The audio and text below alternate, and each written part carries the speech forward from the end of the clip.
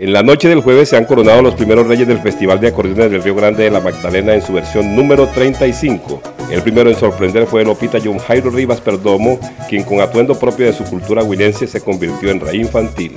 En esta categoría el segundo lugar fue para Óscar de Jesús Polo del departamento de Córdoba y en el tercer puesto se ubicó Martín Elías Vitola, natural de Valledupar. En la categoría juvenil el rey es de Valledupar. Se trata de Michael Peñaranda Sumalave, quien también participó con atuendos propios de su cultura. El segundo puesto fue para el barranquillero William Noguera Muñoz y Barranca Bermeja ocupó el tercer puesto con Juan Carlos Barros Parra. Las competencias continúan hoy en el Parque Infantil.